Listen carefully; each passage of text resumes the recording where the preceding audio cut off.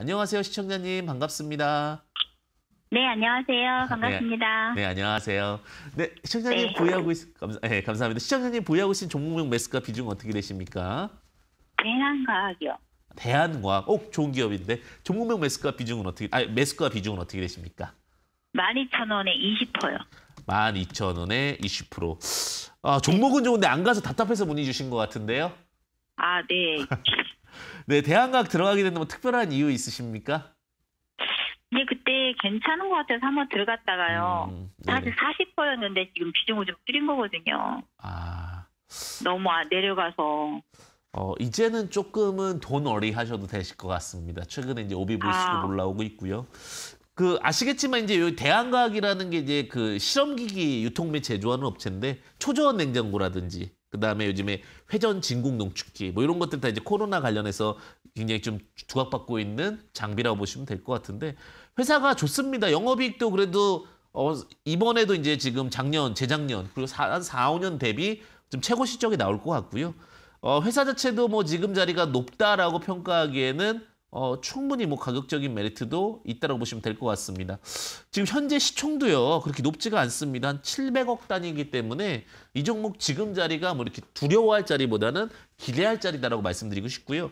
최근에 이제 OBV 수급도 좋아졌습니다. 네, 누적 규정 거래량도 좋아지면서 이제 OBV 그 유마크가 나왔습니다. 이게 쉽게 얘기하면은 점점 매수세들이 좋아지고 있다는 얘기예요. 주식은 결국은 매수와 매도 싸움에서 매수가 높아야 주식이 가는 거잖아요.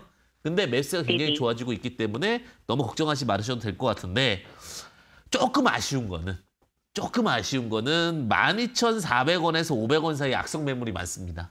회사 본질의 아, 가치는 네. 14,000원까지도 갈 수 있는 종목이에요. 근데 우리가 또 시간이라는 게 있잖아요. 그죠? 주식이라는 걸 하다 보면은. 그래서 제가 볼 네네. 때는 12,400원 정도에는 매도하셔야 되지 않을까. 이렇게 생각이 아, 들고요. 그 네네, 혹시 말씀. 지금 약간 추매 될까 제가 손실 보고 사실 그걸 손절을 했거든요. 네네네. 너무 내려가서. 그래서 손실 분이 많았었는데 지금 손실이지만 지금 다시 재진입해서 재진입은 지금 하기엔 조금 아쉽고요, 가격이. 네. 8,800원 밑으로. 그냥 여기서 만약 가버리면은 내 물량 갖고 에이 잘 줬다 이렇게 생각하면 되는 거고요. 그죠? 아, 네네. 근데 만약에 내려오면은 8,800원 이하부터 매수를 하셔야 좀 유의미한 가격대에 매수할 수 있을 것 같습니다. 왜냐하면 이 가격대에 이제 시그널이 하나 나왔어요. 12월 15일입니다. 12월 15일 날 나도 이제 주인공이 될 거예요 하면서 대량 거래를 빵 터트렸거든요. 그럼 그 네네. 자리 중간 정도 이렇게 지금 모였던 자리인 한 8,800원부터 매수를 한다라고 하면은 다시 거기선 또 순매수 포지션이 들어올 거예요. 만약에 혹시라도 아. 특이사항으로 내려온다면. 그러니까 네네네. 8,800원부터 하시고요. 12,400원에서는 전량 매도 의견 드리고요. 굳이 내려오진 않겠지만 7,300원은 또 손절 라인 드리도록 하겠는데 걱정은 안 하셔도 될 것 같습니다. 네. 또 네, 궁금하신 감사합니다. 네, 성공 투자 되십시오.